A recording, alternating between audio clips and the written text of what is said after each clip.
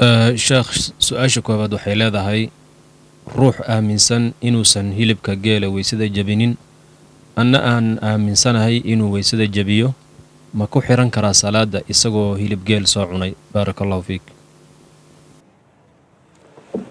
bismi llah alxamdulilah asalaatu wasalaamu calaa rasuuliillaahi wcalaa aalihi wasaxbihi wala amaa bacd. Asalaamu calaykum waraxmat ullaahi wabarakaatu salaadeenna allaha aqbalo khayrkan allahina waafajiyo salada hilibka geelu waysada ma jebinayaa oo masalo ka mida masaa'ilka culimmada iyo fuqahada muslimiintu ku qaybsan yihiin. Daliil ahaan waxaa xoog badan inuu jebinayo. Oo nabigaa la weydiiyey sal alla alay slam xadiidkii jaabir ibni samura iyo albara bni caazib oo labadaba fii saxiixi muslim yihiin ana tawada'u min luxuumi libil qaala nacam iyagoo geela haddaan cunno ma ka weysiisanaa wuxuu yidhi haa waxaa adhiga ma ka weysiisanaa wuxuu yidhi haddaad doonto marna wuxuu yidhi maya anaa waajib ma aha laakiin hilibka geela labada munaasabadood ee la weydiiyeyba nabiga wuxuu amray in laga weysaysto qofku hadduu hilibka geela cuno daliil ahaan sidaasaa xoog badan wa in kaana asxaabtayada shawaaficdi iyo iyo rag la mid ay qabaan inaan laga weysaysan. Laakiin imaamu nawowi raxima allahu tacaala laftiisu fii sharxi saxiixi muslim iyo majmuuc sharxi lmuhadab labadaba axaadiida markuu ka hadlayay wuxuu qiray daliil ahaan in laga weysaysto os weysada jebinayaa xoog badan. Marna waa madhab marka. Marna maxaa xoog badan madaahibta muslimiinta ee kala duwan wey taasi horta waa mas'alada weyse ma jebinaya. Ma ku xidhan karaa? Masaladu intaa way ka guda weyntahay waxyaabaha weysada jebiya ee la ysku khilaafsan yahay hilibka geela keliya ma aha waxaa ka mid a qof rag iyo qof dumara oo ajnabi kalea jirkooda hadduu istaabto weysada ma jabaysa. Waxaa ka mid a qofku hadduu xubankiisa taranka taabto weysadu ma jabaysaa marka waxyaabaha waxaa isku xukun ah waxyaabaha muslimiintu iyo culimmada muslimiintu isku khilaafeen. Weysada ay jebiyaan iyo inayna jebin. Laba qof oo kala madhab duwan oo laba kala madhab haysata. Salaadda ma isku xidhan karaan. Su'aashu sidaasay uga guda weyn tahay masalada hilibka. Maalan fuqahada xanafiyadu ma qabaan dumar la taabtay iyo xubin taranoo la taabtay midna weyse ayna jebinayso. Wadankana waa inala joogaanoo jaaliyadan iyo dadkan hindigiihi waa madhab xanafiya ay haystaan. Shaaficiyadu iyo ma qabaan kuwa lamidihi hilibka geela weyse inuu jebinayo. Marka muslimadu waxay ka hadlaan dadka kala madhabka duwan ee ku kala duwan weysada waxa jebiya. Kow amaba salaadu waxay ku asaxda waxyaabaha salaadu ku asaxda ama jebiya waa lagu kala duwanaan karaa. Sida ilaad salaada ka baxda inaad weyse qabto maqasaba inta hore waxaa ah laakiin atixiyaadka haddaad dhammayso intaadan salaamo naqsan. Haddii weysadu kaa jabto salaadda ma kuu jirta mise kuuma jirto nin dhameeyey baad la mid tahay mar haddaa atixiyaad dhammaysa. Assalaamu calaykum baa dhimane. Oo assalaamu calaykum taa iska wadan aday weyse kaa jabtay. Mise waa inaad kow soo bilowdaa masle culimmada isku hayaan iyo madaahibtu ku kala duwan yihiin wey waxaan ugu mashhuursan shaafici iyo xanafiyada. Qolyahan xanafiyadiihi atixiyaadka markaad dhamaysa weysadu hadday kaa jabto salaaddii waa ku dhammaystiranta waana kuwan masaajidoodii aan la tukanee inala wada degan waayo ama intaan caafimaad hindiya u tagno dee masaajidoodii ku tukannaa sooma qoladii south africa tagtay masaajidoodii ku tukadaan. Madaahibta muslimiintu marka dadku way wada joogi karaan iyagoo madaahib kala duwana halkaa way haddaba waxaan rabaa saa u leeyahay raalli ahaada diro dheeraatay. Haddii lagu kala duwan yahay waxyaabaha weysada jebiya ama waxyaabaha salaada jebiya madaahib muslimiintana la kala raacsan yahay dadkii salaadda ama isku xidhan karaan oo ma'muum iyo imaam ay isu noqon karaan jawaabta sida saxda ahaa. Ilaa shaaficiyada maahane fuqahada shaaficiyada iyagu waa diideen in adiga madhabkaaga weysadiisii ay jaban tahay ood ku og tahay inaad salaad ku xirato. Waxa la ysku hayana waxaa weeye ma ictiqaadka qofka ma'muumka ah baa la tixgelinayaa mise qofka imaamka. Imaamku wuxuu haystaa salaadiisu inay sax taho wax ka jabiya usan samayn ma'muumkuna wuxuu leeyahay sax maaha wax kaa jabiyaad samaysa haddaba labadan qof ee salaada isku xiranaya ma imaamkaa la ilaalin oo hogaankii ah oo dadku ku wada xiran yihiin sidau isagu saxda u arko? Mise qofka maamuunkaa la ilaalin siduu isagu saxda u arko? Cinda jamhuuri ahli lcilmi imaamkaa la eegayaa maamuumkuna hadduu ku xirta imaam isu haysta salaadiisu inay asaxday uu ku xidhan karaa way asaxaysaa bacda daalika xadiidka daahirkiisana saasaa u dhow. Nabig alay slam imaamka markuu la hadlay wuxuu yihi yusalluuna lakum. Imaamyaal baa idin tukinaya. Dad kala duwan oo imaama oo maalinba mida ama duruufo kala duwan imaam idinku noqon doona. Fain asaabuu falakum walahum wain asaa'uu falakum wacalayhim hadday si fiican u tukadaan ay wanaajiyaan iyagana ajirkooda heli idina ajirkiina helaysa. Hadday wax khaldaan ama xumeeyaan ama qalloociyaan idinku ajirkiinaad leedihiin wixii dembiana iyaga dushooda way. Walidaalika xadiid kale nabiga ku yihi alayh isalaatu wasalaam alimaamu daaminun walmuadanu mu'taman. Imaamku wuxuu damiin ka yahay oo mas'uul ka yahay ansixitaanka salaada dadka ku daba tukanaya damaanaddaa wixii ka xumaadana deynteeda iyo dushiisa wey. Muadinkana isagaa dadka u aadaamaye waxaa lagu aaminay wakhtigiinu soo galay. Oo markuu aadaamo dadku way isaga tukanayaan way isaga afurayaan hadday soomanaayeen ay maqrib tahay wixii uu khaldo de isagaa la aamino ammaan uu dayacay wey. Saas darteed buu imaamku haddaad rukuucda ku gaadho. Faatixadii adoon aqriyin. Intaad la rukuucda dushiisa ay u noqonaysaa. Wax badan buu ka xambaarayaa imaamku mas'uuliyadda imaamnimada. Saas darteed mas'uuliyad sahlan ma aha. Waa masale khilaafiya sida raajixa cinda ahli ilcilmi jamhuurtooda iyo daahirka daliilku waxaa la tixgelinayaa ictiqaadka qofka imaamka ah. Hadduu isagu sida uu og yahay ama uu madhab yahay salaadiisu inay asaxda iyo weysadiisu tahay waad ku xidhan kartaa wixii ka khaldamana. Dembigeeda isaga raacaysa. Wabilahi towfiiq su'aasha kale waxay leedahay sheekh dadka ay nafaqadooda igu waajibtay sodohday iyo sodogay may ku jiraan. Sodohdu kuma jirto. Dadka nafaqadooda waajibka ninka ku tahay kuma jirto. Sodohna kuma jirto. Sodogna kuma jiro. Seedina kuma jirto. Dumaashina kuma jirto waxay nafaqadoodu waajibto. Waa afar.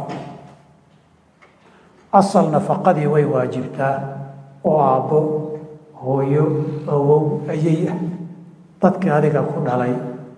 Hadday baahan yihiin ayna waxaysanin nafaqadooda way waajibtaa. Faracna nafaqadiisu waa waajibtaa.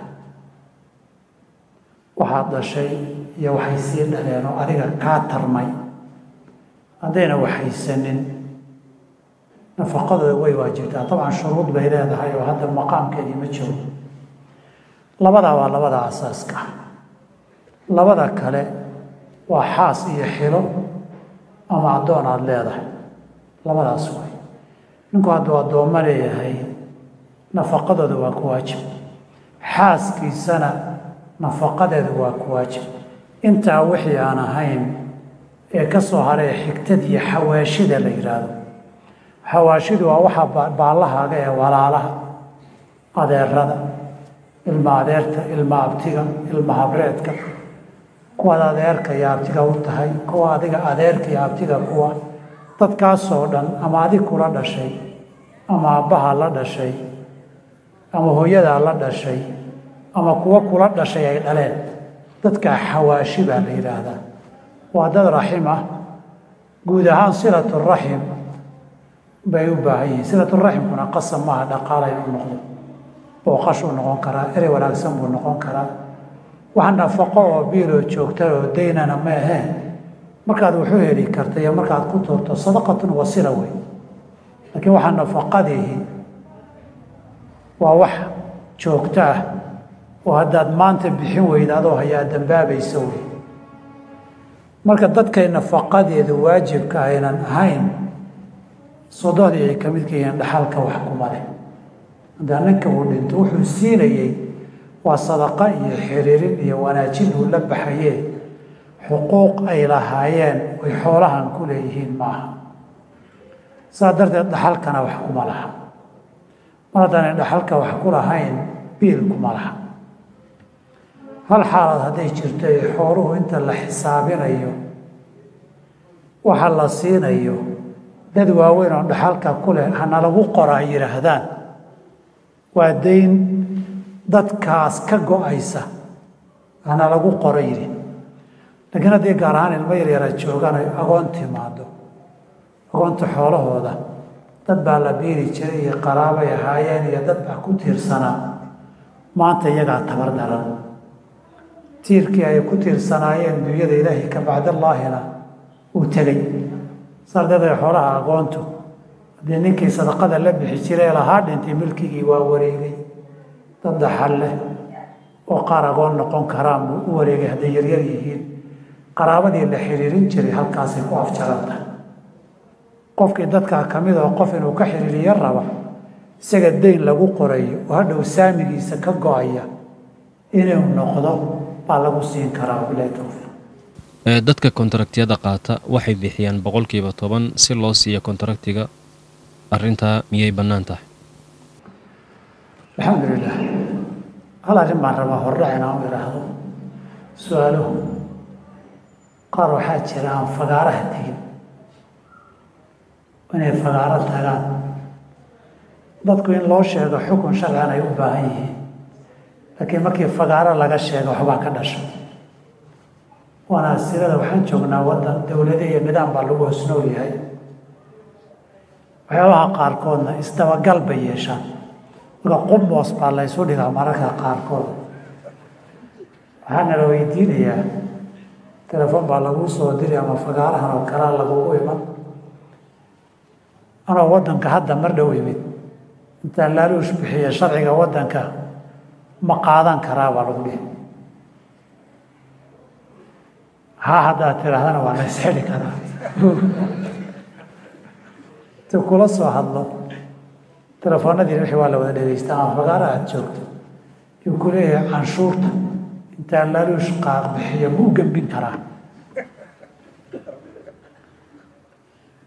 Dee hadhow waddanku isku laaluushka ugu fiday iyo sida loola dhoontay iyo wax badan baan ka naqaan laakiin mararka qaarkood waxaa adkaanaysa inaad afka ku ballaadhisa haa see lafa loo xagtaa ilkara ku nabadgalaan waayo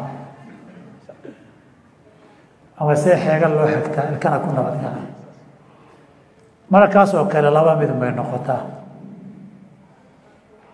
Telefoonka horta way sahlantahay su'aashaas oo kaleeta markay telefoonka lagu weydiiyo tabcan naga telefoonadana hours waa la dhegeystaa mara baan garanaa dadka dhegaysanaya noo yimaadaan xali baan ku dhegaysanaya? Markaasaa lahaynayna dhahaan marka maxaa dhaca? Telefoonka horta way sahlan tahay. Markaad ka baqaysa dee in qubmoos laysu dhigayo. Inaad tiraahdo wax yar igu soo celi. Kadibna aadan telefoonka qaban baad samayn kartaa. Amaad tiraahdo hadduu qofku meelaha ka dhow yahay su'aashan su'aal telefoon mahe iimo markaa isagana xukunka sharciga anaad u sheegto adna aad xidaaraysato niman cabsan maxaa la yidhi? Waa loo cabsadaa baa layidhi taas iyo jawaab guud inaad bixiso. Qofku isagu ka garan karo su'aashiisa jawaabteedii waana sida markay golayaasha sidoo kale fagaaraha tahay la dhaho. Marka wax guudo waxaan idin idinna xukunka aad ka garan kartaan. Anna aan ku xidaaraysanayaan idin siin. Saamisku saanbu ku heshiina haddii masalada horta asalkeedu ten basantigan iyo waxaa lamidkii waa laaluush masala masale laaluush guddiyadan kontraktiyada bixiya ama tendaga intay akhriyaan go'aanka ka gaadha ajantiyay leeyihiin la shaqeeya ama dowlad ha noqoto. Ama xataa hay'adahan galbeedka iyo wax walba leh ha noqdaan. Ee waddanka jooga contract marka la bixinayo guddiga tendaga ama cidda contractiga bixinaysa ciday wada shaqaystaano. Aan qodkii ofishaalka ahayn oo gacanyaro oo ajanti ah oo yidhahda anaa ka soo dhammaynoo nimanka isnaqaanaa marka dambe waxaa caadi noqotay ten basantigan waddankana waa la wada yaqaanaa. Waana la wada ogyahay dadka intaa in laga qaado. Meelana laguma qoro. Qaanuunkuna ma ogola.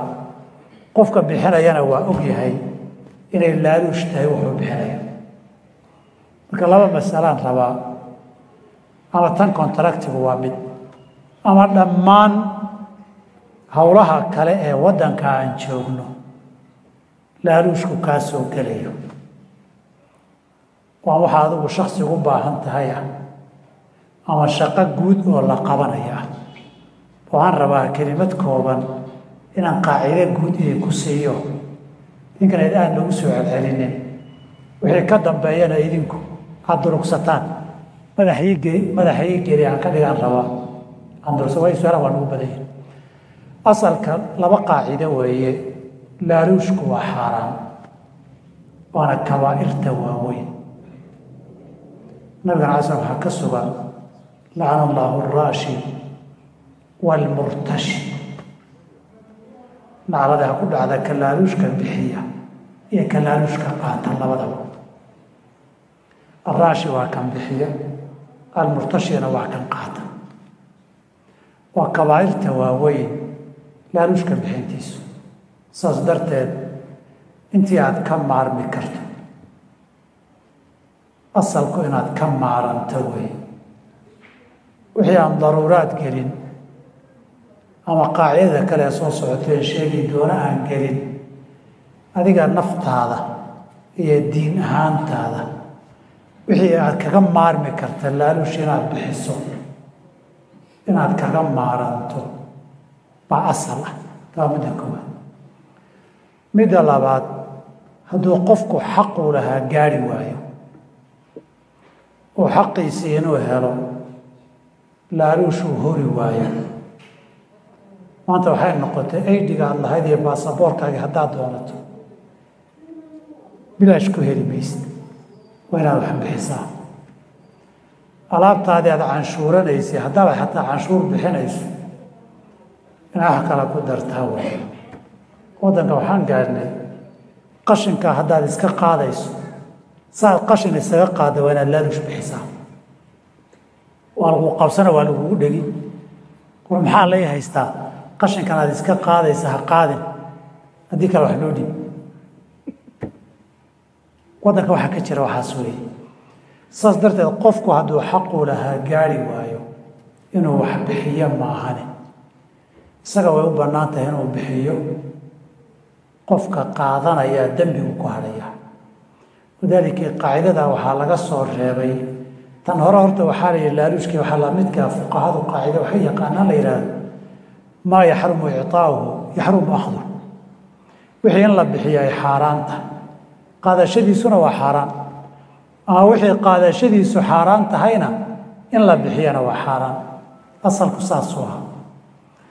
Haddii qofka xuquuqdiisii uu gaari waayo inuu wax ogolaado maahane? Waa qaacidadaa mid ka soo harayso la yidhaahdo yajuusu lilmucطi wayaxrumu cala alaakhir qofka bixinayay u furan tahay. Qofka qaadanayana waa ku xaraam.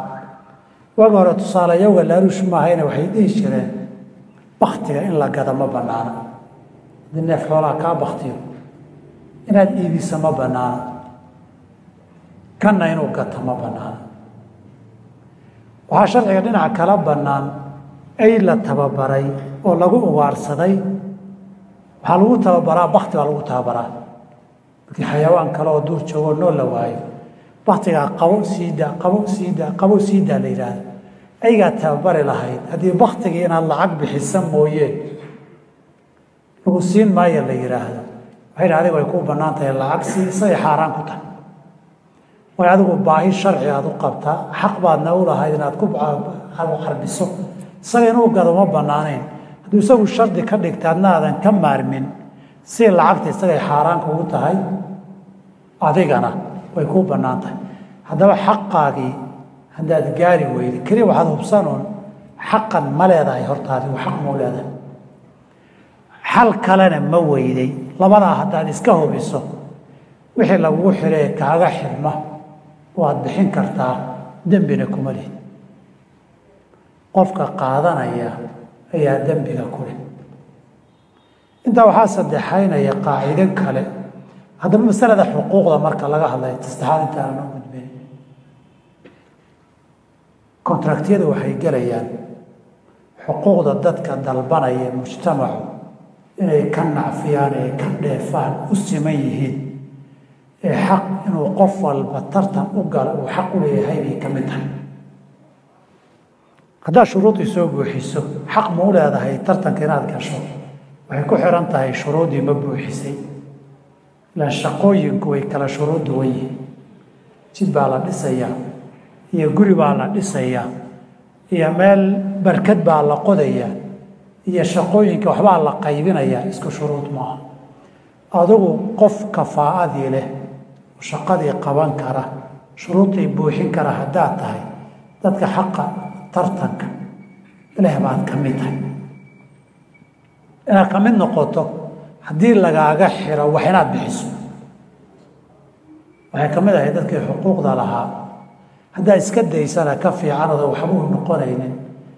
Laakiin haddana dadkii xuquuqda lahaa xaqoodii wax bixin la'aan loo diiday baa tahay haddaadan shuruuddii buuxin karinna dee dadkii xaqan lahaa ee wax ku bixin lahaa ka mid matihin saas darteed baa daa waxaadan idhi waxaad eegtaa xaqan dadkii lahaa ma tahay.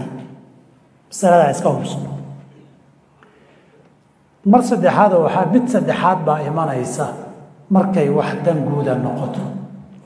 Qof shaksiga fatwo ma aha laakiin qaacidada guud haddii xoolihii la bixinayo shaqadiina mar walba la bixinayo lacagtii danta guud ee canshuur iyo ummadda guud loo ururiyey ama hay'adii ku bixinaysayna kollaba la bixinayo.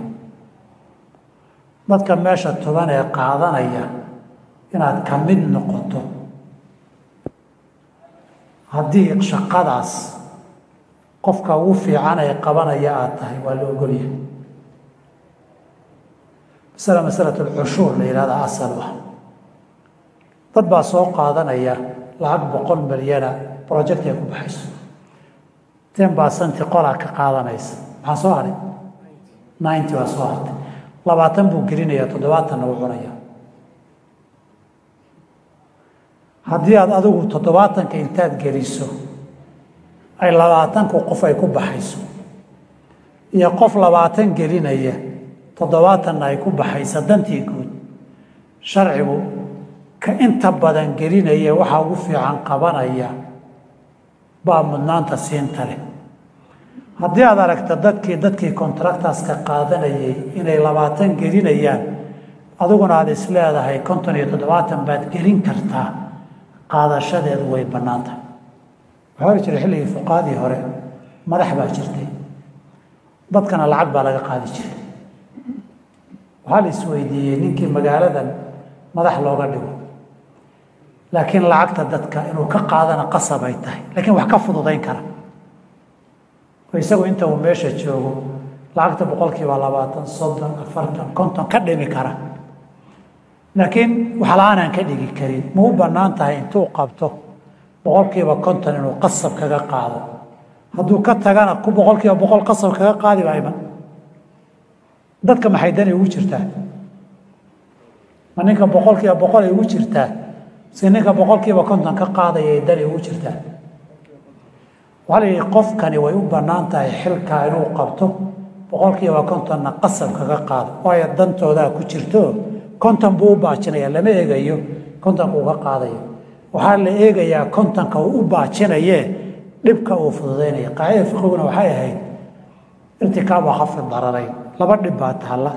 Hadba kii fudud baa la qaataa in mid boqol boqola dadka la saaro iyo mid boqolkiiba kontona la saaro dadka boqolkiiba toddobaatan xaqooda inay helaan loogu talagalay inay boqolkiiba labaatan helaan. Laba dhib hadday yimaadaan dhibka waa laga hortagaa. Haddii laga hortegi waayo sharcigu intii la yarayn karaa la yareeyaa. Qofkii yarayn karana wixii uu dadaalkaa ku sameeyo wixii uu samayn waayo cafis bay u noqon. Intaasaan kaga bixi allah barakeeyo bilahi towfiiq dad waxaa jira guryaha ka dalaala. Tusaale ahaan guri buu soo ogaanayaa inuu iib yahay. Kii iibsaday iyo kii laga iibiyeyba wuxuu ka qaadanayaa lacag. Shaqada noocaa ah miyay bannaan tahay? Dilaalku waa shaqo bannaan laakiin hawaa inaadan dilaalin wax xaaraana baar khamri aan dilaal ahay ribaan dilaal ka ahay raagis baan dilaal ahay dhaqan xumo kalean dilaal ka ahay. Kow waa sida shaqooyinka kale oo kale. Waxaanaad qabanaysae dilaal ka noqonayso inuu xalaalaya laba markaad dilaalayso waa inaadan been sheegin. Odan wixii labada qof ee wax kala gadanaysana been u sheegin. Waxaa la kala gadanayana aadan ka been sheegin.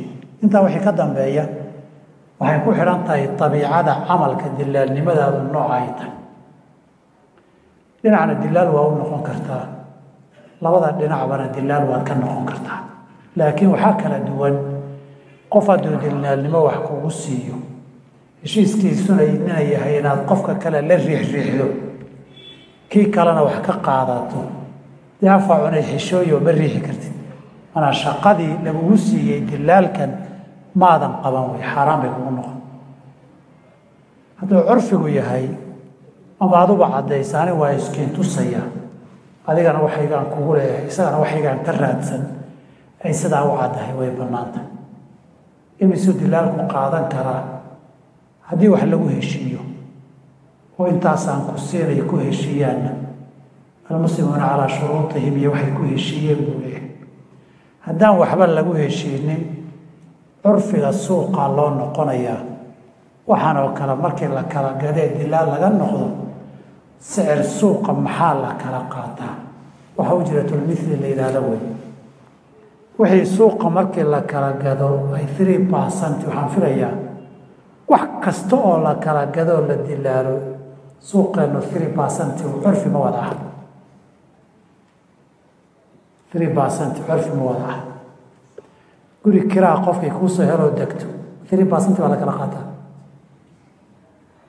Saasaa curfigeedna intaan aqaana maya saas darteed markii suuqi maxaa curfi ha la yidhaahdo hadduu wax guudo suuq oo dhan ah jirana isagaa la raacay hadduusan jirinna waxaa laga feegayaa mashruucana dilaalka ka noqotay kuwa lamidka ah. Maxaa sicir suuqa la kala qaataa hadduu kala duwanaado halka afrajka u ah markii inta badan la fiiriyo laysku celceliyo afrajkaa la siinayaa. Hadda iyagu dib ka heshiiyaanna wanaag laakiin hadday isqabsadaan oo ha loo kala gooyo ay noqoto. Curfiga ha loo celin curfiga hadduu isku dhodhowaadana wixii dhexdhexaada ama afaraj isagu iman karo baa la geynayaa haddii kale waxay labadoo si cad ugu heshiiyaan. Curfina waxaa loo noqdaa wixii aan caddaan looga heshiinin. Wax caddaan looga heshiiyey curfi suqma aado. Aniga adigu haddaan intaa ku heshiino suuqa ama ha la ekaato ama ha ka yaraato ama ka badato intiibaa inoo dhexaysa oo maqaatic alxuquuq cinda shuruud. Cumar markii la isula yimid waxyaaba saasoo kaleo la ysku haysto wuxuu yihi xuquuqda waxaa lagu kala goosta waxaad ku heshiisaan haddaydan wax gaara ku heshiinin markaasaa suuqa iyo sicir suuqa iyo ujratulmithliya laydin aadsiinaya bilahi towfiiq laba su'aalood tan koobaad waxay leedahay waxaan kala tagnay xaas laba sano ka hore. Aniga iyo xaaskayga haddeer ma isku noqon karnaa. Tan labaad waxay leedahay gabar aan heshiinay ayaa waxaa ii diiday waalidkeeda isagoo marmarsiyo ka dhiganaya isma guursanna qolada uu ka soo jeeda wiilka. Alxamdulilah su'aasha hore labada kala tegay waqti dheerna ka soo wareegay. Waxay u baahan tahay in la yidhaahdo imisay ku kala tageen ma hal dalqad bay ahayd? Ma labay ahayd? Mise saddex bay ahayd? Saddex haddii ay ka dhammaatay inay nin kale guursato mooye si la isugu soo noqdo ma laha. Inay nin kale xataa tankixa zawjan hayrahu ahay nin kale inay guursato way gogol ku reeroobaan. Kadib ay khiyaar guur rabitaanana uu ka yahay xagga gaar ahaan ninka. Kadib ay kala tagaan kadib ciddadu ka dhammaato. Intaa kadib haddii ilaahay isu calfo is rabaan si cusub bay isu guursan karaan. Saddexdii hadday dhammaatay haddaanay saddexdii dhammaan way hal dalqad ku kala maqnaayeen ama laba ku kala maqnaayeen. Way isguursan karaan meher cusub iyo weligeedii oo la maro. Weli haddii la waayo qaadiga la maro bay isku guursanayaan intii baaqiga u ahayd bayna isku qabayaan. Hadday mid ku kala maqnaayeen labay isku qabayaan hadday waxay ku kala maqnaayeen laba ahaydna hal bay isku qabayaan. Taa masalada intaa weeye. Masalada gabadhan aabbaheedu uu diiday. Mar waxay u muuqataa qofkani isagaana dacwadii qaba. Isagaana qaadigii uho in laga gardaran yahay isu xukumay. Isagaa isu xukumay. Waa mushkilad moogtahay adigu adaa gabadhii rabay waa la ii diiday. Khalad baa laygu diidayna waa tiri khalad baa laygu diiday markaad leedahay adaa qaadigii wax xukumaysu ah. Inaad tiraada dee dacwadina anaa qaba xukunkiina anaa goynaya bay labadaa isba qabato. Gabadha iyadoo weyn baad aragtay. Laakiin dad baa dhalay oo dhabarkiiyo dhabta ku siday oo dhaqaaliya waxalba u horay. Waxaa hubaala sida asalka ah. Waalidka gabadha dhalay wanaag bay la jecel yihiin. Waalidka mid mid shaadahoo khayr beelaana waa dhici karaa iyagoo khayr la raba inay qaldamaanna way dhici kartaa. Laakiin asalba waalidka ilmihiisii intaa ku dadaalayay adiguna iyadoo labisan oo qurux badan oo bannaanka aad ku aragtay mar bay calool ku jirtay marna xafaayad iyo bambas baa u xirnaa dad baa intaa ku soo waday oo ku soo dhaqay oo la ekaysi. Inaad maanta intaad aragta haad tiraahda anaa iyaga maslaxaddeeda uga roon oo saan ugu fikiraya mustaqbalkeeda anaa uga naxariis badan. Gar maaha. Marka koowaad. Marka labaad gabadha hadda waad jeceshae berri haddaa isku dhacdaan xaggee aadi halkan ay ku soo noqon soo maaha ogow intii horena halkan ay joogtay haddaad hayn weydana halkan bay ku soo noqon. Gabadha in laguu diido sababo badan baa keeni kara. Wax ma haysatid baa lagugu diidi karaa. Oo laba qaawan isma qaadaatiin dabeecad baa lagugu diidi karaa. Waxaa lagugu diidi karaa dadkaaga dartii wiil fiican baa tahay. Laakiin reerka dhan qaad iyo daroogay ka shaqeeyaan. Ninku hadduu yidhahdo aniga gabadhayda meeshaas la dhex geyn maayo. Nin baa waa wuxuu yihi yurubtaa intaan tagnay. Wiil soo islaamay. Inay gabarh soo islaantaa wiilkiisaa rabay inuu guursado wuxuu yihi aba gabadhan guursan maysa ama gabadh musima fiican wey aba waan gartay carruurtay dhasho abtigeed waayo waa gaalkaas. Habaryartood waayo waa gaashaas. Haba ilmahan dhalay oo dhiiggaygii ka beermay abtigii waa gaal habaryartiina waa gaal. Wiilkaaawey muxuu ahaa tan maxay? Ahayd waa sodohdii oo gaala aaba damiirkayga iyo dhegahaygu ima siin karaan iga daawiir mararka qaarkood gabadha wiil baa soo dooray waa loo diiday duqii markii loo yaray wuxuu yihi wiilka aabihii feeri daroogu ka shaqeeya. Kan feeri walaalkii. Reer dhan oo bahashii ku wada dhex jira. Ninkan gabadha reerka hadduu iga dhexgeeya way iga fasaadinayaan bimacnaa meeshan dhaqan xumo iyo diin xumaa reerkiina ka jirta. Gabadh la guursadayna reer baa loo geeyaa. Ninku inuu u baqa gabadhiisi inay fasaado. Waxaa la dhihi karaa oo loogu diidi karaa qofka waxyaaba saas oo kala duwan.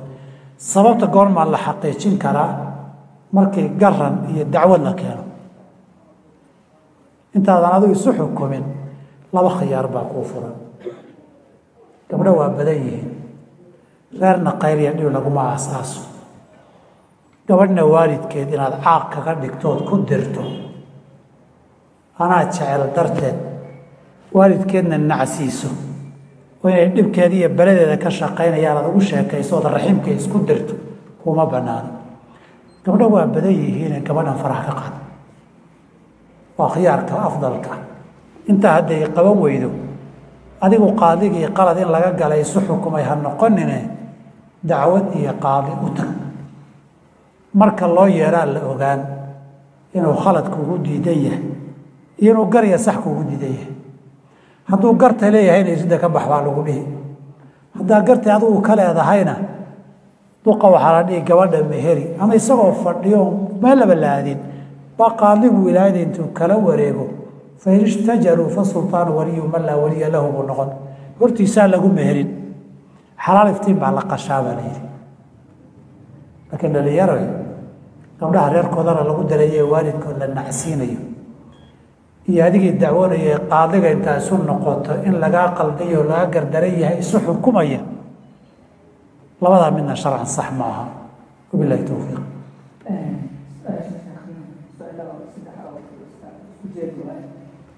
يجوز دفع ذكر بدل الأنثى زكاة الإبل كهذا إذا فقدت إن كان الذكر أكبر منه فهل يجوز دفع القيمة وهل يجوز دفع الزكاة إلي من أعول إلى من أعول كابن الأخ وغيره من القرابة إذ لا يملك لا يملك شيئا منها هل يصح شراء ما أخرجت من الزكاة alxamdulilah saddex su-aalo oo zaka ah wuxuu leeyahay zakadii dhadiga la iga rabay iyo qaalinka geela qaalin iyo qurbac ma bixin karaa iyadii haddaan waayo lacagsa ma ku bixin karaa zakada dhadiga laga rabo labood ma gala booskeeda. Dhadiga ka ka weyn iyo ka ka yar la kabaa xoolaha markaan joognana dhadig iyo labood ma sinna. Wadaadkii siyaarada qaadanayay ee qurbaca la siiyey iyo ritigana waa ki yidhi wax dhexda ka kaajo oon rag ahaynba waan waan ka dhaartay.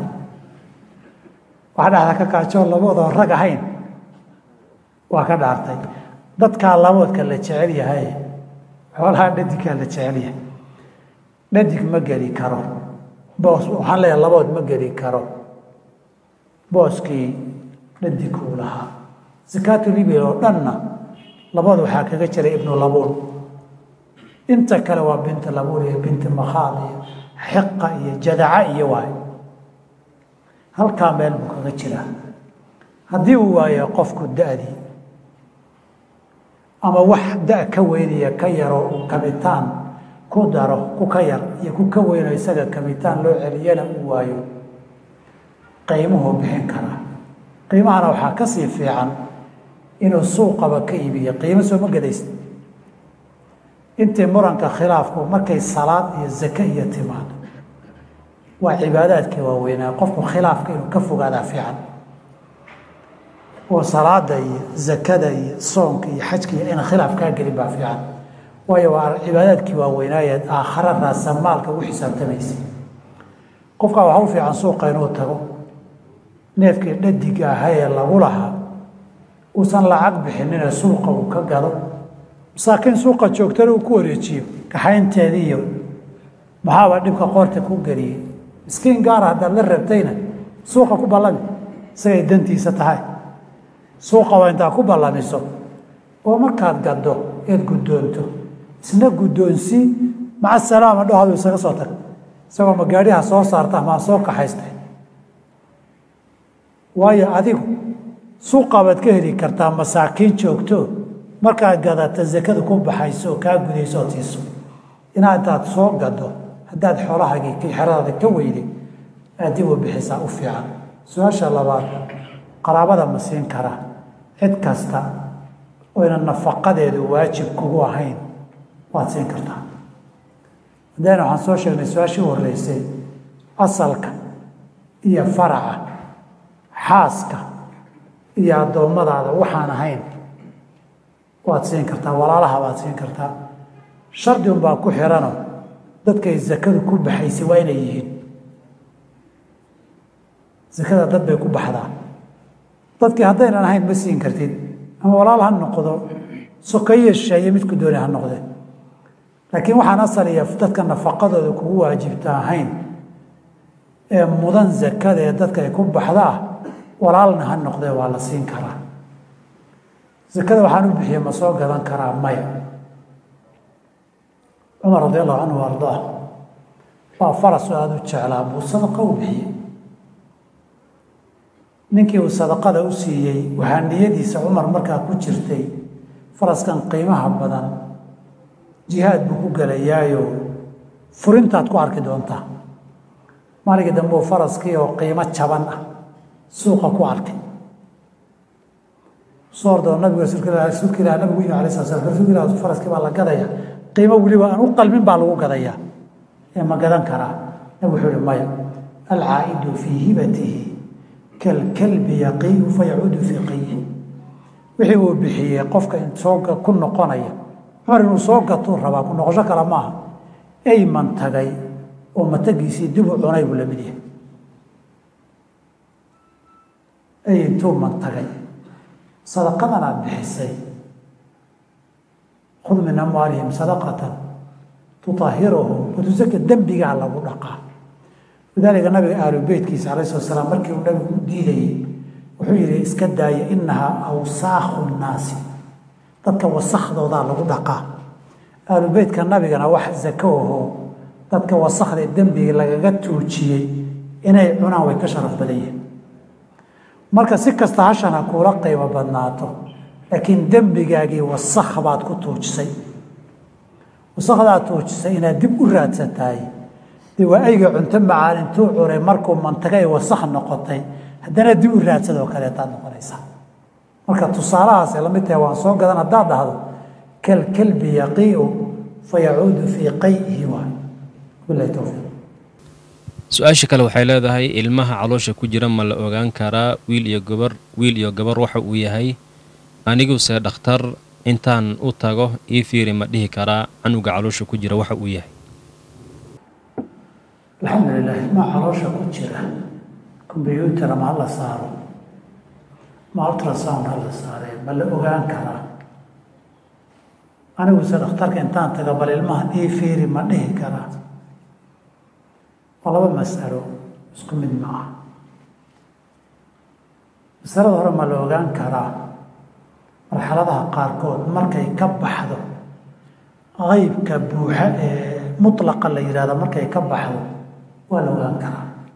Ilmaha raximka gala ilmanimadiisa iyo kobaciisu laba marxaluu mara marxalo rabbi keliya ogyahay subxaana wa tacaala waxa ka dhinmay iyo waxa ku darmaday. Iyo marxalo khalqiga uu ogaan karo oo la ogeysiiyo. Marxaladda hore wayo marxaladda aan ilaahay mooyane cid kale ogaan karin ama siddeetan beridhe ama boqol iyo labaatan beridhe ee u horreeya khilaafka tafsiirka xadiidka ka jira. Ilaahay uu ku tilmaamay suurat racdi bahayd baan u malaynayaa wamaa taqyadu larxaamu wamaa tasdaad raxiimku wuxuu ka nuqsaamiyo iyo wuxuu ku daraba intaas rabbi keliya ogaan kara kombyuutar kasta haddii la saarana waxba kama garan karo. Waa dhadi meesha waxbaa ku jira maahane. Xataa waa dhadigiya waa laboodii wuxuu yaho badan ma garan karaan markuu waqti mucayana gaaro xadiidka ibni mascuud fii saxiix muslim wagayrihi ina axadakum yujmacu khalquhu fii batni ummihi arbaciina yowma nudfatan uma yakunu calaqatan mila dalika uma yakunu mudqatan mila dalik maxaa ka dambeeya? Uma yusalu ilayhi lmalaku malag baa loo soo diraya. Fayumaru biarbaci kalimaatin malaggaa markuu yimaado wuxuu dhaha yaa rabbi dakarun am unha ilaahu ma dhadig baan qoraa mise labood waa loo sheegaya midkuu qoraya. Ajashiisa cumrigiisa waxyaabaha malagga uu qoraya marka waxaa ka mid a ma dhadigba mise waa labood marka malagaas waxaad garatay halkaas markuu su'aasha rabbi weydiinayo isagu ma oga weli. Marka loo sheego waxay ka baxday rabbi keliya. og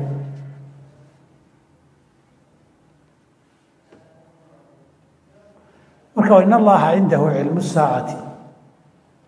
Haye maxaa ku jira? Wayaclamu ma fi larxaam iyo xadiidka fasira ayadaase khamsun laa yaclamuhuna ila allah waxay ka hadlayaan waa ilaa waktigaa malaga la soo diray. Malag marka la soo diro ee uu weydiiyo ee loo sheego wuxuu ka shaqayn doono. Iyo dhida dig miyaa iyo labood miyaa rabbi keliya og inay ka baxday waad aragtaan. Laakiin su'aashiisa waxaad ka garatay xilligaa ka hor xataa malagu moogeyn saa darteed rabbi adakarun am wixii waktigaa ka dambeeya qaybkii mutlaqa ahaayee alla keliya ogaa way dhaaftay wayna ka baxday. Dadku way ogaan karaan qaybo ka mida saansaankii dhadig iyo labood inuu leeyahay. Markaadba aqoontooda intay gaarto iyo astaamihii calaamaduhu intay soo koraan bay ogaan karaan. Qaybo ka midu in ogaan karin waa jiraano. Ma nolol buu ku dhalan doonaa iyo mase ku dhiman doonaa waa sida dadka nooloo aajaashooda aan la ogaan karin. Ilahay la ogaan karo. Wamaa tadrii nafsun markaa naf baaba lagu abuuray oo naf buu noqday wuxuu soo geliy wamaa tadrii nafsun maadaa tagsibu hadan beri ma noolaan doontaa mise way dhiman doontaa? Ilaahay ama uur ha ku jiro ama banaan ha joogo intaa wixii ka dambeeya marba ilaahay hadduu ka qaaday xijaabkii inay qeyb dhammaystiran tahay ka qaaday khalqigiisana qeyb ogeysiiyey qaybo kale inay marxalo marxaladaha kamida ogaadaan wax diidayana ma jira dhibna maaha adigu ma dalban kartaa haddaan wax kaloo xun ka dambeynin haddaad rabto markaad ogaato gabadh hadday tahay inaad soo tuurto dee lama ogola carabtii horena waidaa bushara axaduhum bilunha dalla wajhu maswada wahuwa kadiib haddaad fal damacsan tahay midkii uu noqdo markaad ogaato hadduu kaa noqdo falal iyo waxyaaba xun inaad samayso dee raadintu waa wasiila ilaa macsiya wey. Haddayna waxba inaad samaysta rabin oo iska ogaata waad rabtana. Walow altrasoundku hadda ilaa halig intaan ka warqabo uusan yaqiinku siin karin qiyaasun xubnaha halkaa waxaa ku aadanaya waxaa muuqday sawirka halkaas saas u egyahay intuu kolba soo weynaaday sii hubsan karaan marba markuu sii yar horeeyo waxay sheegaan shaki unbaa geli doona.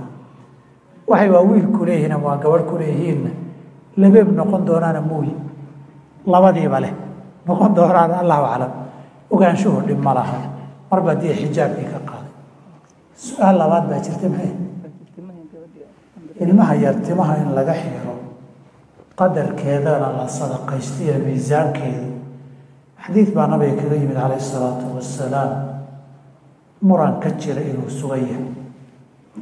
Si kastaba ha noqotee intaan ogahay culimmadu waxay isku raacsan yihiin waajib ma aha. Oo haddaad ka tagtood iska dambaysa dembi ma laha. Laakiin waxaa loo badan yahay inay sunno tahay ay fiican tahay inaad samayso. Inta aadan wixii samaynna dee sunnadii waa baaqi hadday muddo ka soo wareegto laba mushkilad baa yimaado oo sunnadii barxaya ama sunnanimadii wax u dhimaya. Kow timihii way badanayaan yixidii ay ku dhashay ilmuhu kuwaan ahaynoo badan baa ku soo darmanaya. Xiiristii haddaad xirto sunnadii xiiristu dhib ma lahano iyaga iyo ziyaada aad xirtay waxba yeeli mayso laakiin waxaa ishkaal ka iman doonaa qadarkii la sadaqaysanayay. Waxaa hadda la miisaami rabo iyo wixii markii hore in la miisaamo ay ahayd. Waa kala culus yihiin waa kala badan yihiin. Saad u kala qiyaasi dee adigay ku jirtaaye qadarkii sadaqada dee saad u qiyaasi lahayd? Dad ahlulkhibraad u baahan tahayo intuu ilmuhu jooga iyo waxaa ku soo kordhi kara iyo kuu qiyaasa baad u baahanaysaa? Kolaba marba sunanimadii waa iska baaqi waajibna mahoo dembi ma aha oo haddaad iska badayso dembi baad gasho akharaa laguu qabsan iyadu meesha ma taallo. Bilahi towfiiq laba su'aalood. Su'aasha koowaad waxay leedahay ruux gaal ahaa oo aan xafiis ka wada shaqaynaynay ayaa geeriyooday. Marka ehelkiisa ma u tacsiyeyn karaa aaskiisana sadaqo ma ku darsan karaa su'aasha labaad ruux ma sadaqaysan karaa qaybo ka mid a jirkiisa. Alxamdulilah su'aasha qofka gaalka ah ama daris ahaada ama shirkadba ahaada ama meel ka wada shaqeeye hadduu dhinto waa loo tacsiyeyn karaa. Laakiin markaa u tacsiyeynaysa dadkiisa waxyaabo mamnuuca jira oo muslimka kaga duwaya midna waa wada mamnuuco de wixii dembiya samayntiisa. Gaal iyo muslim waa isaga mid laakiin gaalka wax dembi ah baa jira muslimkana fiican. Ilaah u naxariisa kii dhintay lama dhaho. Waa ilaahay gaal uga naxariisan maayo. Ilaah u naxariisiyo ilaah u dembi dhaafiyo ilaah u janno geeyo adaa ku dambaabi ilahina qur'aanka waa inagu barayo qad kaanat lakum uswatun xasanatun fii ibraahiima waladiina macah id qaaluu liqowmihim waxaa laga soo reebay ilaa qowla ibraahiima liabiihi la astakfiranna lak istikfaar inaad u weydiisa lama ogola nabigana calai salatu salaam markii uu dalbaday hooyadii qabrigeedii inuu ziyaarto waa loo ogolaaday in ilaahay dembi dhaaf u weydiiya markuu dalbadayna waa loo diiday qur'aan baa ku soo dego maa kaana linabiy waladiina aamanuu macahu an yastakfiruu lilmushrikiina walow kaanuu ulii qurba min bacdi maa tabayana lahum anahum asxaabu ljaxiim saas darteed qof gaalnimo ku dhintay ilaahay baa yidhi in allaha laa yakfiru an yushraka bih inahu man yushrik billahi faqad xarama allahu calayhi aljanna saas darteed waxaan la ogolayn meydkiinii allah u naxariista qofka dhintay hadduu gaal yahay allah u dembi dhaafo janna allaha geeya laguma ogolo laakiin sabir allah idinka siiyo wax ka khayr badan allah idinku bedelo ilaahay inaad adduunye ugu ducaysa gaalka waa la ogolyahay wixii aan adduunye ahayn ee diina ducadu waa hal mid. Ilaahay uu soo hanuuniyo xaqa tuso inaad ugu ducaysa wey wixii diina. Intaa wixii ka dambeeya waxba haydhihi wuu fiicnaayo masaakiin buu caawin jirayo kanuu wax u qaban jiray waxaas macno ma laha. Maalkan wuu sadaqa badnaa. Waxaa la yidhaahdaa hadda halkan soo jaamacada kuma lihin nairobi university fulan university fulan university. Haddii anigoon ardaynimo enrollmenti samayn aan buugta soo gatoon fiina shugo imtixaanna fadhiistoon galo liiska ardayda najaxday ma laygu soo dari. Sabab qabuulka camalku enrollmentigiisu waa ashahaadada. Wax kastoo wanaagsan samee haddaadan ashahaadadii la imanin waman yabtaqii hayra alislaami diinan falan yuqbala min. Weligaaba imtixaanka lacagtaa doontada bixi buugtaad doona gado horta enrollmenti soo samey baa ka horreysa sooma. Islaamnimada camalka ilaahay inuu aqbalana soo ashahaadaa ka horeysa taas intaasaan kaga bixina sadaqadan aad ku darayso wixii ama reerkiisa caawina ama kharashaadka aaskiisa ku baxaye guud ka qayb qaadashaa ama baahi baa jirtee guudoon dadkiisii baa lagu caawin la yiri oodan wax lagu bixin ogeyn dhibaato mar waad bixin kartaa. Hadduu jiro wax gaaraho waxaan fiicnayn lagu samaynayo od og tahayna ka qayb qaadashada ma banaana gaalna kuma xidhna gaal iyo muslimtoona iyo nolol iyo geeritoona waxaad og tahay. Waxaan fiicnayn in lagu qabanayo wax ku darkiisa lama ogola. Ama gaal ha noqdo ama muslim ha noqdo ama ha noolaado ama ha dhinto su'aasha qofka xubnihiisa qaar ma la bixi karaa ama qofka hadduu dhinto maxaa lagu samaynayaa su'aashu waa laba qaybood. Qaybna waxay khusaysaa qofkan dhintay. Qaybna waxay xusaysaa dadka ahalkiisii ee xuquuqda leh ee meydkan wax ka dhexeeya. Tan dadkiisa isaga khusaysa meydka sharcigu ma ogola muslimka ah. Sida uu xurmo u lahaa jirkiisa markii uu noolaa ayaa markuu dhintana uu xurmo u yahay. Nabig ala slam waxaa ka soo ori kasru cadmi lmayiti ka kasrihi xayan meydka laftiisa la jebiyo isagoo nooloo la jebiyey la xunta. Riwaayadka qaarkood baa ku asaxay kasru cadmi lmayiti lmumini xaya mumini ka kasriga xaya oo shardiga muminka ku daray saas darteed qofku markii uu noolaa beer baa laga jeexan keliyaa laga jeexan il baa laga fujisan. Lama ogolayn markuu dhintana asalku waa la mid. Xurmuu leeyahay in la ixtiraamo. Asalka weeye wixii daruuraad yimaada waa baabke haddii uu dhinto qofku inta uu nool yahay waxyaabo u bannaan baa jira. Xubnihiisa lamaanaha ah. Xubnana waa keli xubnana waa lamaane keliyaha indhaha xubno laba laba a jira. Xubnana waa keli keliyo beerka wadnaha kuwa lamida xubnaha keli kelidee naftiisu noloshiisu ku xiran tahay inuu bixiyo ma banaano kuwa kale haddii uu qof ka maarmi waayo qof noloshii uu ku badbaadinayo uu bixin karaa mase gadan karo xubnaha waa ammaano xoolo milki kuwa maaha. Beeca suuqa kama gadan kartid laakiin qof waad ugu deeqi kartaa. Waana daruuraadka waxaa lagu magacaabo qofka la ogolyahay markuu dhinto xubinta waxaa la yidhi beer iyo wadni iyo ma bixin kartido kanaan badbaadin taydana waan dili lama ogola. Waayo wadnahaaga haddaad bixiso adu ma noolaani beerkaaga haddaad bixisana ma noolaan. Dee kanaan badbaadin anna waan isdili lama ogola. Marka uu dhinto marka waxaa isku mid noqonaya kuwii lamaanaha ahaa iyo kuwii keliga ahaayo isaga tutiisa oo badbaadadeedu ku xidhan tahay ma jirto.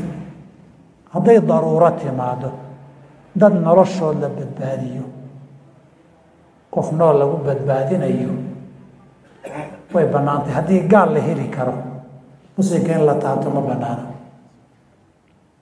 Oo xadiidku wuxuu ahaa kasru cadmi lmayiti lmumini muminku ahaaye gaalka ma ahayn. Haddii gaal la heli kara ma banaana lidaalika waxaa laga hadlaa ardayda caafimaadka baranaysa mayday qalaan bay u baahan yihiin. Inta gaal la heli karo muslim in la qalqala lama ogola ma banaana waayo xadiidku wuxuu yihi kasru cadmi mayiti lmumini buu nabigu yihi inta gaal la heli karo. Saa darteed in la soo iibsado kuwa gaaladoo xubnaha laga soo gurto baa ka mudan kharash baa lagu bixiye in muslim indha iyo dhega lagala baxo. Haddii la waayo oo daruuro laga maarmi waayo way ku xiranta qof nool in la badbaadiyo waa la samayn karaa hal mar bay fuqahadeennii hore ka hadli jireen masaladaas? Laakiin iyada ma ahayne mid ku dhow bay ka hadli jireen. Waxay yidhahdeen qofku hadduu gaajo naf qabato wuxuu cunana waayo. Waa dhiman rabaa. Wuxuu cuna ma hayo. Meyd baa yaalla. Ma cuni karaa kaasi waxay kala qaadeen gaalka iyo muslimka. Ka gaala hadduu heli karo wuu cuni karaa bay dhahan waayo kasru cadmi lmayiti lmumini baa kan wil taalla hadduu waayo waxaan muslim ahayn oy qof dhintay ha cuna hilibkii si uu u badbaado ka nool waxay yidhahdeen waa bannaanta qofka nooloo la badbaadinaya iyadoon qofkan dhimanayna waxay ka hadlayaan qofka naftiisa. Meel bay wax kugu qabsatay baahi. Wax aada liqdaba waad weydeen naf baa ku qabatay. Cad hiliba bowdaadaada ma ka goosan kartaa waxay dhaheen haa si aad naftaada u badbaadiso. Cad hiliba jirkaaga waad ka goosan kartaa ood naftaada ku badbaadinayso. Waa qaadan suura hadday la fahanteen. Hilibkan la goynaya asalahaan ma banaanayn laakiin waxaa isqabsaday cad hiliba ha la gooyo oo qofka uusan u dhimanaynin iyo nafi ha dhimato. Waa qaacida irtikaaba khafi dararayn masaa'ilkaas ay ka hadli jireen baa hadda lagu dabaqa bilahi towfiiq waxaa jira bankiyaha beryahan guriga ku dhisaayaan qaabkaad ay jeceshahay laakiin waxaa jirta three percent qofka muslimka dadka muslimiinta ah three percent way bedeleen magac kale isticmaalaan oo qalada administration cost marka adiga lacag hadduu gurigaas labaatan milyan u yahay markii u lix boqol aad ku daraysaa dhexdaa boqolna waxaa waxay leeyihiin waa facilitation camal adi marka ma arrintii ribadii ma interesti ma magaca loo bixi xiilo kale miya mise se camal waay alxamdulilah horta xukun gaara ma siin karo bangiyadiiyo si u dhaqmaan iyo heshiisyadoodii iyo wax mucayan oo gaaraad xukumi kartaa oo heshiis kalowsiskiisa aad akriday baad xukumi kartaa xukun guud ma saari karo. Laakiin waxaan ogayaa bangiyada islaamiga ee halkan ka jira dhowr mushkiladood baa haysata. Mid waa central bank oo qawaaniinta iyo xeerarka bangiyada lagu maamulo lagu dabagalay ee wadanku islaamic ma aha xeerarka central bankiguna islamic islamic productionka weli ma aqbalin. Saas darteed shuruudda lagu xirayo iyo dabagalka lagu sameynayo iyo waxyaaba badan oo dhacaya waa min baabi ikraahi o ijbaar ay ku yimaadaan. De dowladda iyo central bankina lagama boodi karo oo qofna dee keliga hawada kuwoosaa rabta same beri albaabadaa loo xidhayaa halkaa mushkilad badan baa ka jirta oo mucaamalaadkii ay sameynayeen iyo heshiisyadii. Saameyn aan fiicnayn oo khaldan ku yeesha midna labaadna waxay mushkilad ka haysataa bangiyada laftooda ka socota kuwa islaamiga sheeganaya wey kuwa ka socota waa saddex arrimood oo mushkilada bangiyada ka jirto iyaga ka timaada kow shaqaalahoodu muslim ma wada aha. Ninka agreementiga qoraya ee draftiga soo diyaarinaya ee hadhow waxaan kuu qorayaay nin muslim oo ribo ka cararayo o ribo ka cabsanayaba maaha taasi waa mushkilad jirta oo ninkii waxaan diyaarinayay nin waxaan dembiba ay ku tahay dhibaysa maaha labe kii xataa muslimka ahaa iyo kan isku daro enough training ma haystaan islamic finansiga trainingkay u baahnaayeen iyo waxay ku kala duwan yihiin. Iyo heshiiskan faraha badan ee labaatanka iyo shan iyo tobanka beja clousiska ku qoran looma wada akriyo ninkan toban shan iyo toban sano bangiyadan kale uu ka soo shaqeynayo iyadu soo bartay usbuuc laba usbuuc. Baa koos la siiyey. Soomaalida maqli jirin macallin qur'aanka jaamo ka yaqiino carruur bilaabay. Oo camo markay gaadheen carruurtiina wayla soo gaadha yiri markaa shan daqiiqa hadalka wadaan ama saddex afar bej oo qoraalka wado way ka dhammaan intii trainingka la siiyey. Tii uu yaqiineen buu ku daba qaban. Sadeed waxaa arkaysaa markaad akrido qaybta hore iyo qaybta dambe kuwaan waxba isaga danahay taas waa problem ka jira. Problemka saddexaad ee bangiyada iyo dad kale ka jira iyo boodharkooda qayb badan oo ka mid a wixii mana yaqaanaan damacii inay lacag iyo faa'iide iyo profit sameeyaan way rabaan. Marka maxaa saxan keliya ma ahee aadna uguma jajabno uguma dheganuglo waxbaa kaa khaldanta haddii waxbaa khaldan la yidhaahdana saa dadka ku taqiinay nin wax doonaya qildayga.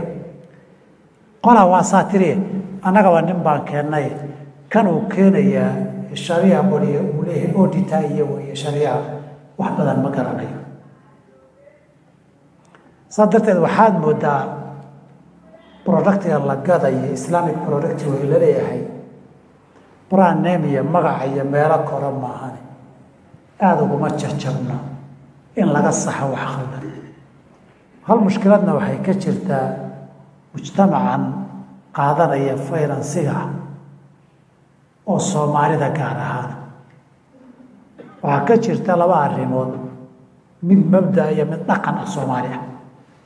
Dhaqanka soomaaliga wax ma akhriyaan.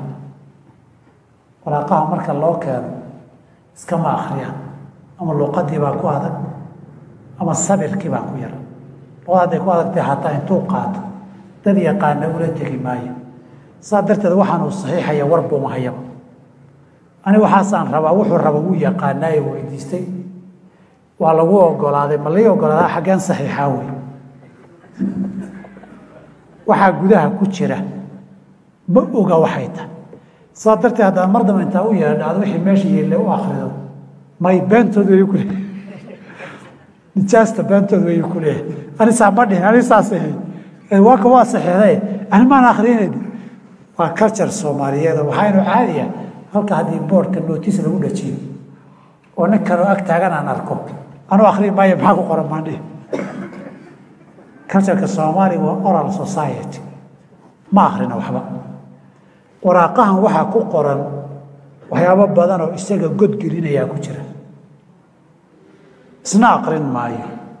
Hadduu xataa aqriyo sabir ma laha inuu qaado oo xataa culamo uu tago uu yidhahda bahalkan iga fiiriya waxbaa ka khaldan. Heshiiska intaa leeg waxaa xaaraan ka dhigi kara. Wax one sentence oo ku jira ama hal kaloos oo ku jira baa xaaraan ka dhigi kara. Maaha figarka numberka inuu badan yahay inuu yaryahay maaha masaladu. Oo yaaba su'aashaada inay ku socoto. Waxyaabaha sharciga xaraamta ka dhiga marar badan it's a matter of process waay matter dadka waxaan idhahnaa salaad baan tukanaynaa rukuucda iyo sujuudda way kala horeeyaan soo maa haddaan sujuudda horreysiyaan rukuucda u soo noqda ka waran waan rukuucay oo waan sujuuday maxaa jiro dhiba? Maxaa khaldamay? Say u kala horreeyeen baa khaldantay. Tusaale labaad waxaan idhaahdaa halkan hoteelada inoo dhow razaan baan garanayaa baa ka mida hadda gabadh guursanayso? Oo xafladdii loo fadhiyo gabadhuna hoteelka joogto intaan meerku dhicin gabadha haddaa cagta soo mariso. Ma xaaraan ba mise xalaal haddaad hoos intaad marto meerku dhaco kor cagta marisan. Gabadhu waa gabadhii hoteelkuna hoteelkee maxaa isbedelay? Of process issue of process waay. Marar badan sharciga islaamka waxaan waa xaaraan iyo xaaraan maaha waa ribo iyo maaha. Matter of process wey dadkeenu wax procedurega wey waxay dadkeenu ka cararay moodayaan. Waa ribo iyo waa xaaraan way badan tahay way yar moodayaan. Waxaa dhici karta ka xalaasha inuu qaalisan yahay. Xalaalnimadu waa part of the quality waay. Labadan shay aad gadanaysa ee kala qaalisan. Quality bay isdheeryihiin soo maa xalaalnimadu qualitygay ka mid tahay. Waa dhici kartaa kan xalaasha inuu qaalisan yahay.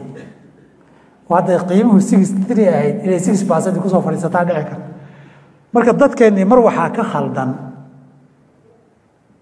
wax ma akrinayaan wax akrinayaan inuu akhriyana sabir iyo wakti uma hayo. Saa darteed wuxuu saxiixay ma oga wax la sixi karay oo la dhihi karay kana sidaa maaha kana saayaan loo qorin kana saayaan loo qorin. Waa xaaraan ribo lagu wada geli. Mid labaadna dadka finansiga raba wax mabdaa ka khaldan isagaa markuu yimaado bankigaba disbret iska dhigi nafba hayso sakaraada. War bankigaa kaa disbreedsan lacag buu ururiyo meesha la fadhiyaa yaa iga qaatuu leeyaho dadkii akawnada lacagta ay maraysa ee sarkay buuba mid xafiiskiisa ugu tegayaa oo raadinayaa. Fuliyo waxaa la yidhi geesinimada waa sabru saacatin wax yar ina adkaysato baa geesinimada idinka xigta. Bangiyadu shuruuddiina inay aqbalaan wax yar ina is adkaysaan baa iska xigoodan despered iska dhigin. Isna adnaha aduu lacagta meesha ay u furan tahay aduu rabaa lacag inuu kaa sameeyo uu kaa ganacsanaya. Intaad u baahan tahay waxaa ka badan intuu kuu baahan yahay dhulka ha isdhigin oo markaad timaado waxaad tidhaahdaa aniga sidaasaan ku rabaa. Islaamiga shuruuddaydana sidaasay noqon.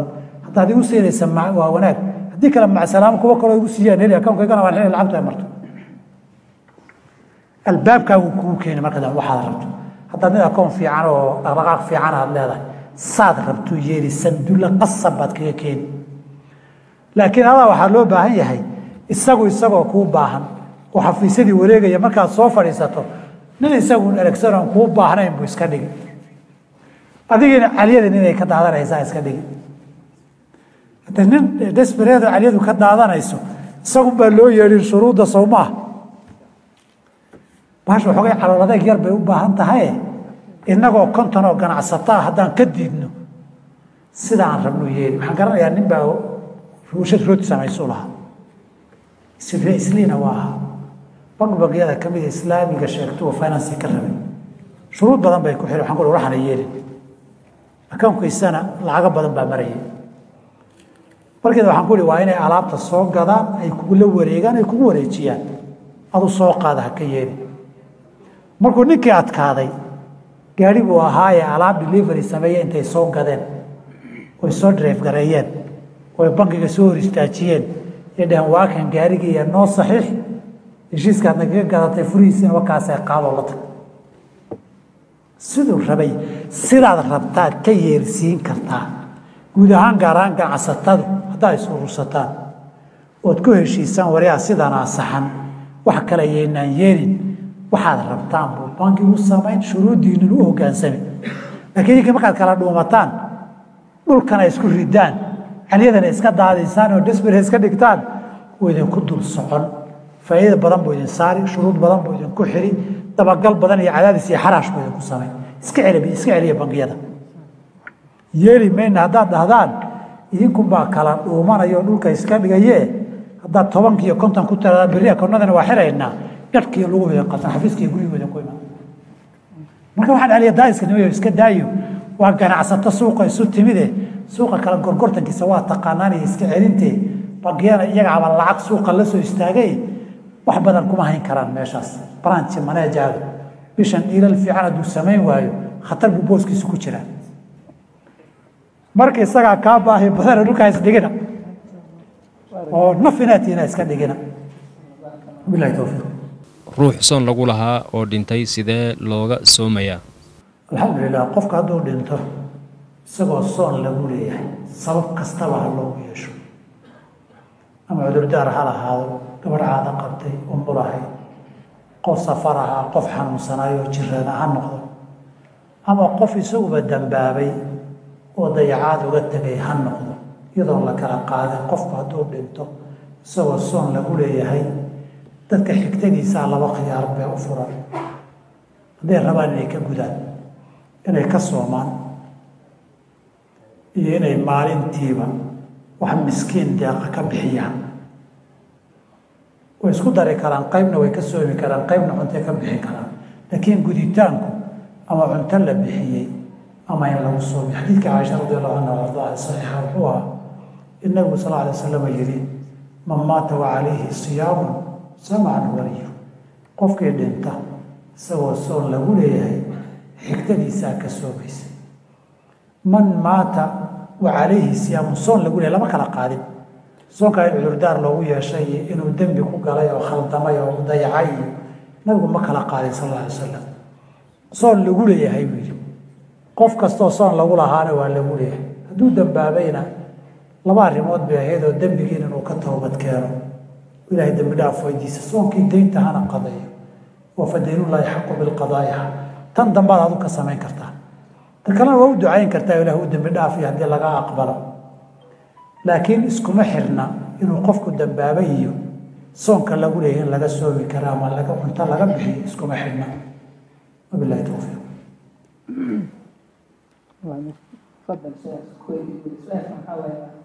bacd alfajr waay hadda masaajidkan ku sugnaado ilaa qoraaxda ka soo baxayso labada ragcac oo qofka uu tukanayo magaca u rabaa iyo macnaha sabaabka laga helaayo iyo macnaha duxaa may noqonaysaa israaf may noqonaysaa alxamdu lilah salaada subax kadib qofku inuu fadhigiisa laasimo masaajidka ku jiro ama hadhow ha tukada ama yaanu tukane waxay la wadaagtaa salaadaha kale fadhigaas ajirka laga helayo malaa'ig baa u ducaynaysa oo ilaahay u naxariiso ilaah u dembi dhaaf leh. Salaad kasta gadaasheeda qofku uu fadhiyo wey.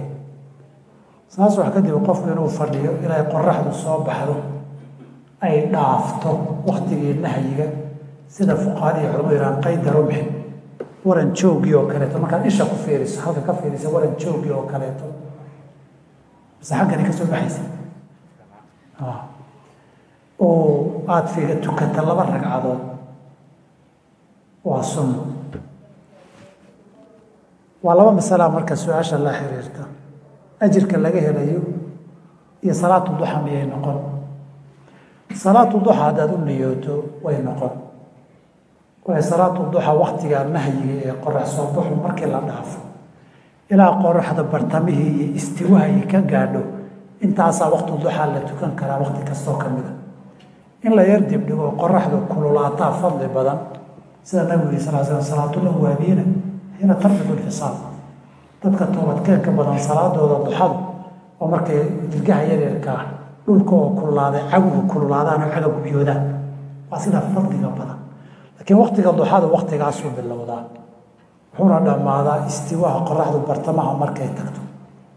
Haddaa adigu duxa u niyooto duxay noqono inama alacmaalu biniyaati waay.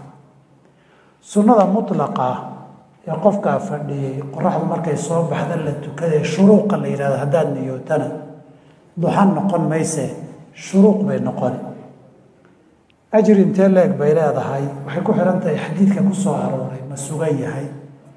Oo muran badan culimmada ka jiro ajru cumratin waxajatin taamatin taamatin taama xadiid kale cumro iyo xaj taam waa taam dhamaystiran dhamaystiran ajirkood buu leeyahay dabcan mid farada lagama hadlayo sunna laga hadlaya waayo salaadan laga hadlaya waa sunna sunankuna farad ma gaadhaan sidoodaba xadiid kale waa kii nabigu calayh salaam ilahi wuxuu ugu jecelay waxay u dhowaaday addoonku wuxuu ku farad yeelay ilahi ugu jecelyahay faraa'idka isku jinsigiihi way ka fadli badan yihiin waxaa jinsigooda ee sunanka ah.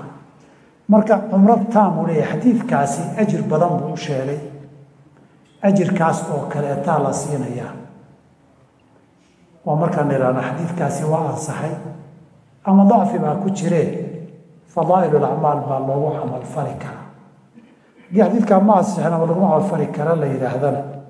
Qofku intuu masaajka fadhiyayna ajir buu ka heli salaad sunno uu tukadayna ajir buu ka heli ajirka noocan ee xadidan baan la xaqiijin karin markaa maahane mar walba ajir iyo thawaab inuu ka helayahay iyada waa mudan yahay haddaan wax kaloo isaga ka yimid oo ajir maanic oo u diiday uusan isaga ku qumin sidii camaashii kale